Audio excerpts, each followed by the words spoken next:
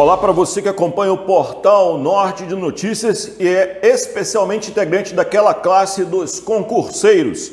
A Assembleia Legislativa do Amazonas aprovou hoje a Lei de Diretrizes Orçamentárias para o ano que vem e essa lei é a que orienta a formulação do orçamento, de quanto o Estado vai poder gastar no próximo ano. Dentre as 42 emendas aprovadas, uma delas é do seu interesse é a que promove, que permite, que autoriza o governo do estado a realizar concurso público para a Polícia Civil no ano que vem.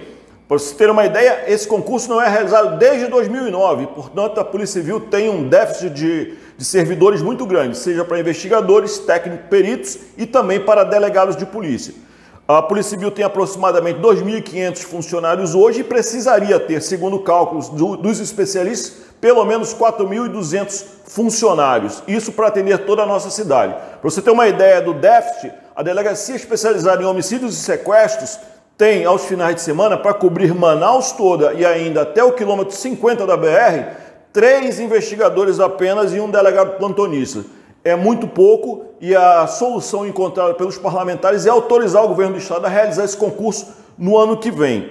Para que isso aconteça, a, essa emenda que está na LDO precisa ser inserida também na Lei Orçamentária Anual, que é a LOA, que é votada no, agora no segundo semestre, no último bimestre do ano, que é quando o governo do estado diz como pretende gastar os recursos arrecadados. São recursos da ordem de 18 bilhões, segundo aprovado pela Lei de Diretrizes Orçamentárias. Se você quiser saber mais notícias sobre esse assunto, clique no link abaixo. Eu sou Gerson Severo Dantas, do portal Norte de Notícias.